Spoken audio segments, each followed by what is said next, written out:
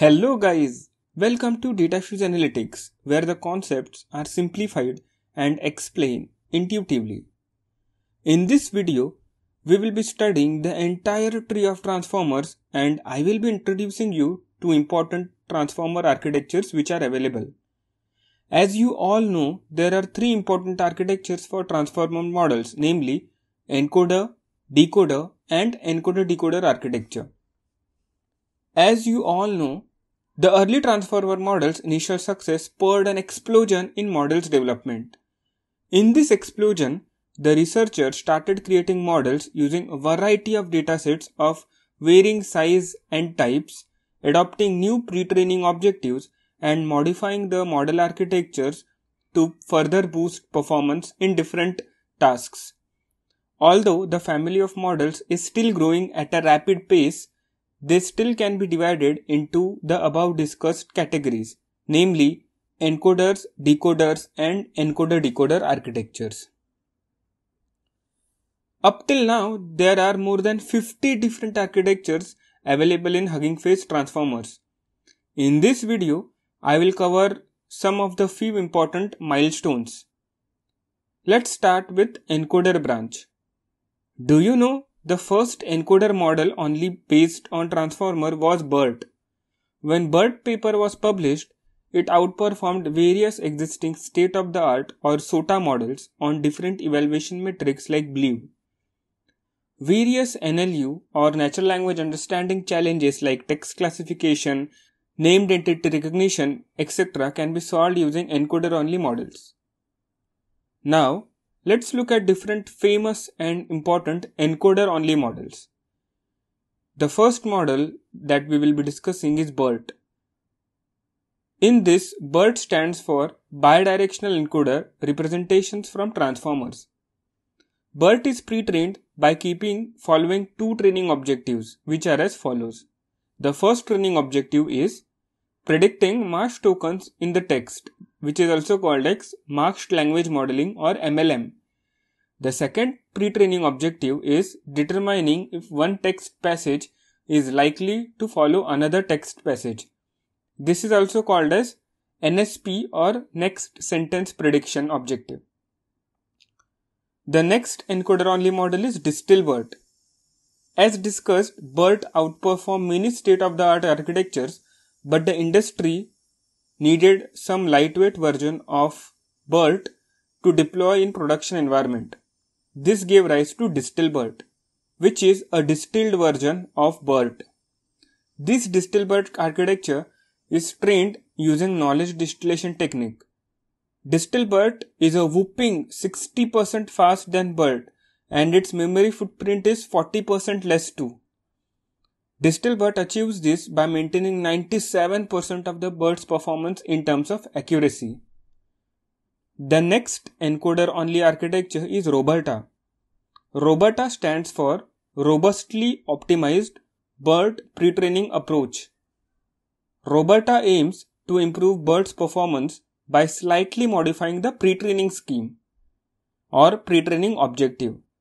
ROBERTA is trained on longer sequences or longer sentences on more training data than BERT and it drops the NSP or next sentence prediction training objective of BERT.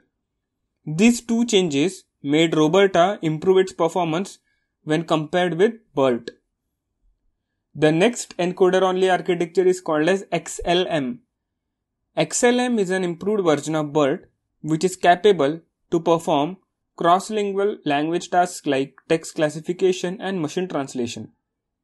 XLM learns to map words from different languages by using byte pair encoding or BPE and a dual language training mechanism. XLM introduces an additional training objective which is called as translation language modeling or TLM in short. TLM or translation language modeling can be viewed as an extension of MLM or masked language modeling which we discussed during BERT. XLM model achieved state-of-the-art results on multilingual NLU or natural language understanding benchmarks as well as on translation tasks. The next encoder only architecture is XLM ROBERTA. It is also called as XLM-R. This is an extension of XLM that incorporates massive training data. To train XLMR, common crawl corpus is used. This common crawl corpus does not contain parallel text. Hence, the TLM or translation language modeling training objective which was used in XLM was removed.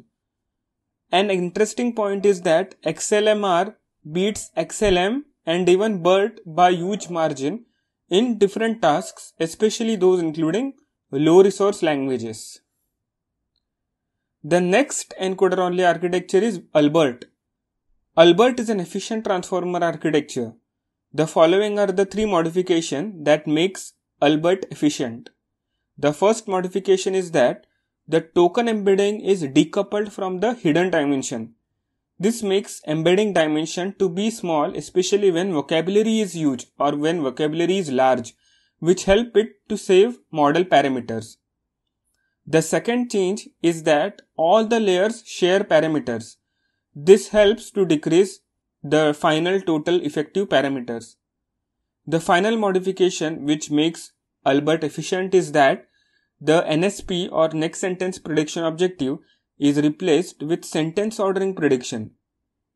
In sentence ordering prediction objective, the model predicts whether the order of two consecutive sequences was swapped or not. These three modifications or these three changes made Albert to train for larger model with fewer parameters efficiently. The next encoder only architecture is called as Electra. One of the major limitations of masked language modeling or MLM training objective is that only the marks tokens are updated at each step while the other input tokens remain as it is. Electra solves this issue by using a two model approach.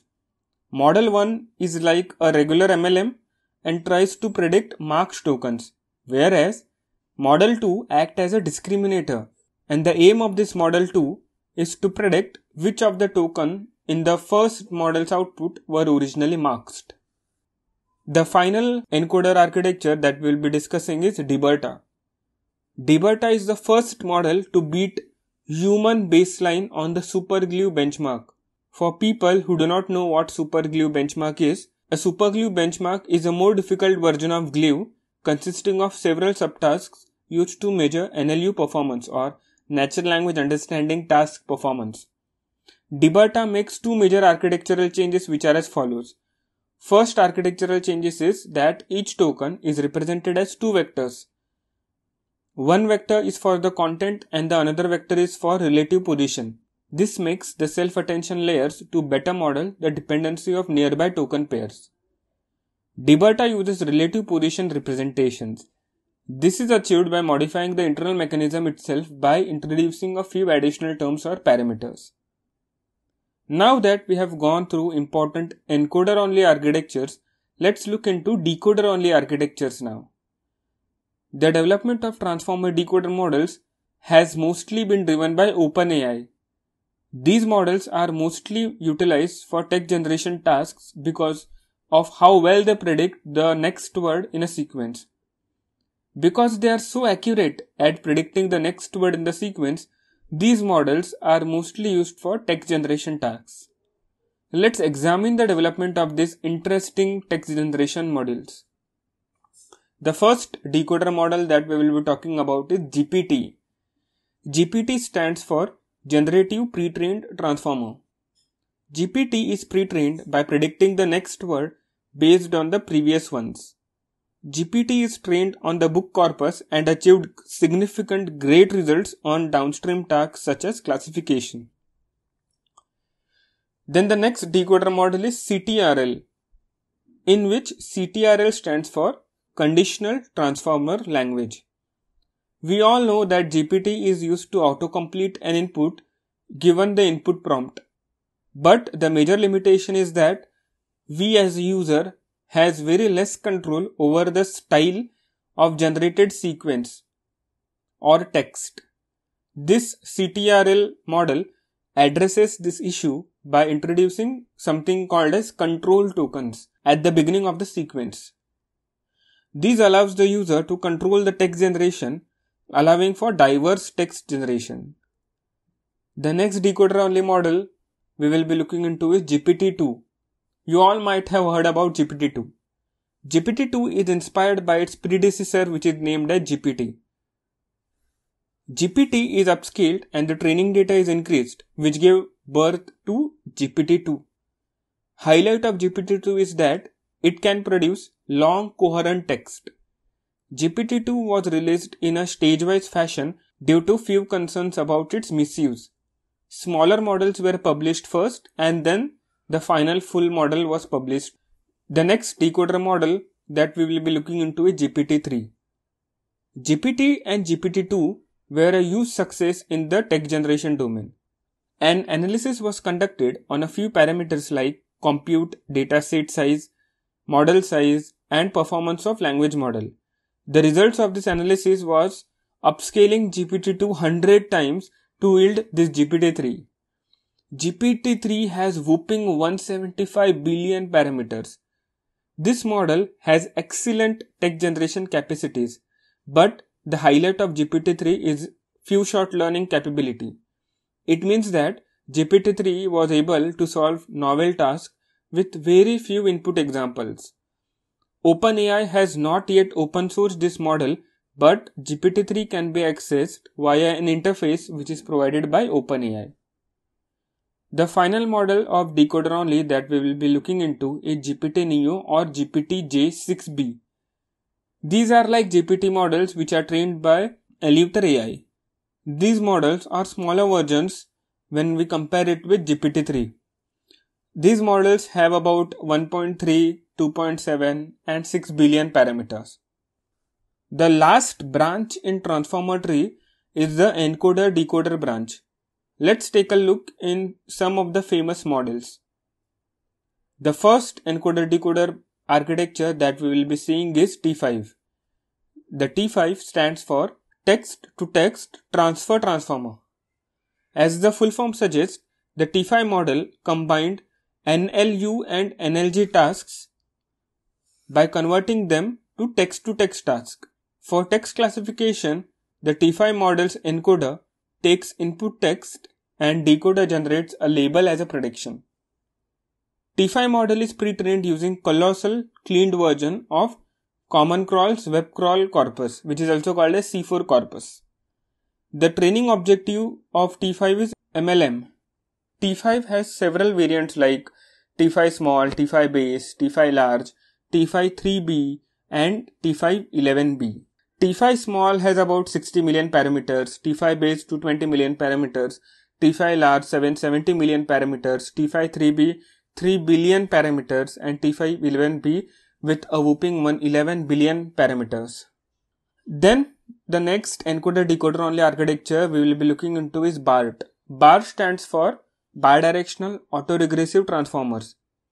BART combines the pre-training objectives of BERT and GPT with the encoder decoder architecture. The input sentence undergoes one of the following simple masking, sentence permutation, token deletion, and document rotation. This transformation aims to distort the inputs and then the decoder tries to construct the original sentence.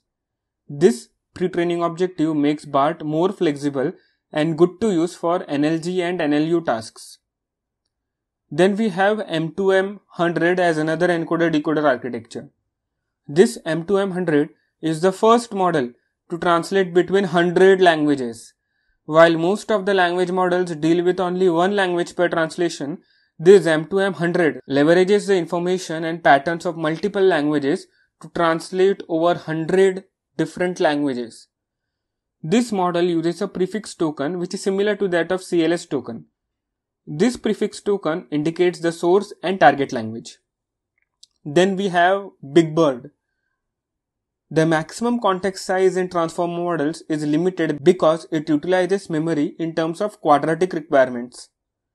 Big Bird model solves this memory issue or memory requirement challenge by using a sparse form of attention mechanism which enables it to scale in linear fashion. This allows for scaling from 512 tokens in most BERT models to 4096 tokens in Big Bird. This model is heavily used in tasks like text summarization due to its ability to model long-term dependencies. So guys, that's all concerning with all the major and important transformer architectures or what I call as a transformer tree. It should be noted that all the models which are discussed in this video are available on Hugging Face Hub and can be fine-tuned as per the problem statement which we want to solve. If you like this short video of transformer tree, please give a like to this video, share this video with your friends and subscribe to this channel.